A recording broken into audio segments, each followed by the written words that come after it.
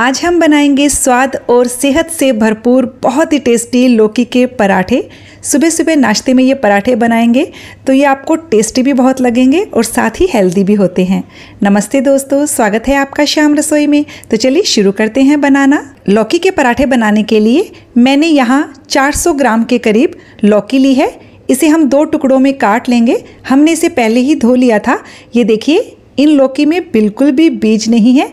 इस तरह की लौकी इस्तेमाल करेंगे तो बहुत बढ़िया पराठे बनेंगे। लौकी को हमने छील लिया है और हम इसे अब कद्दूकस कर लेते हैं। हम पूरी लौकी को कद्दूकस करेंगे क्योंकि बीज नहीं है।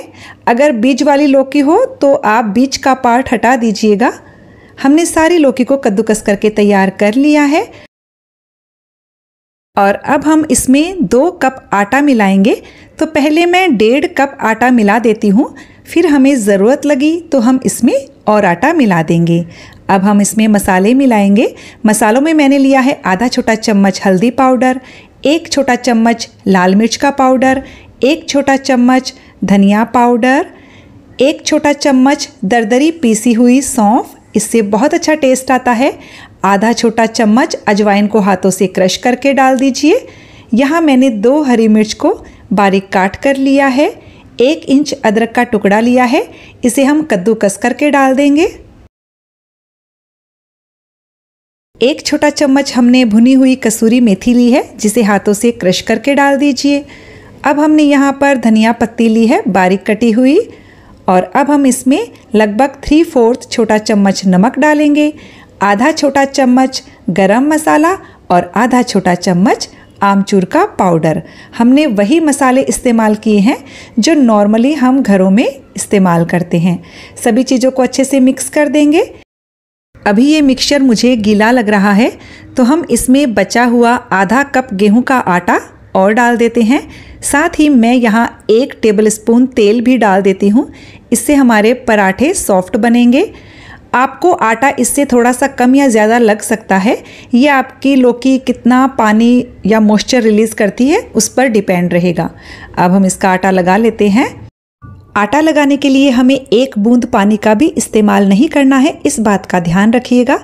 अब हम इस पर एक चम्मच तेल लगा लेते हैं और इसे अच्छे से गूंथ लेंगे।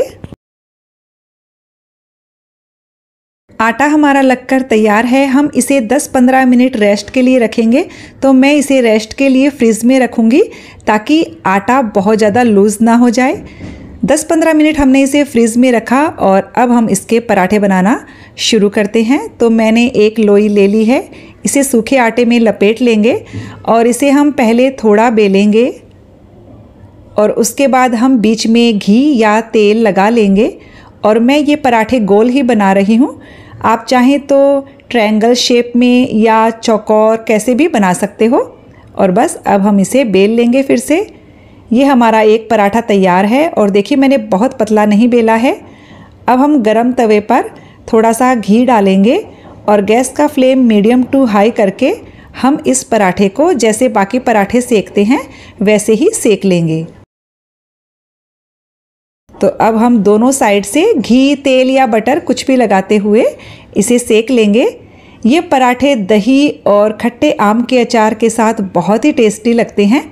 आप चाहें तो इन पराठों की छोटी छोटी पूरियाँ बनाकर उन्हें डीप फ्राई भी कर सकते हो। वो भी बहुत ही टेस्टी लगती है। तो ये देखिए, हमारा एक पराठा तैयार हो चुका है। आपको देखने से ही लग रहा होगा कि ये बहुत ही टेस्टी बनकर तैयार हुआ है। इसी तरह से हम सारे पराठे बनाकर तैयार कर लेंगे। और जितना मैंने मिक्सचर बताया है, उसमें आपके 9 से 10 पराठे बन जाएँगे। तो फ्रेंड्स ये स्वाद और सेहत से भरपूर पराठे आप भी बनाइए। रेसिपी अच्छी लगी तो वीडियो को लाइक शेयर कर दीजिएगा। चैनल को सब्सक्राइब करने के साथ बेल आइकन प्रेस कर दीजिएगा, ताकि मेरे आने वाले वीडियो का नोटिफिकेशन आपको मिल सके।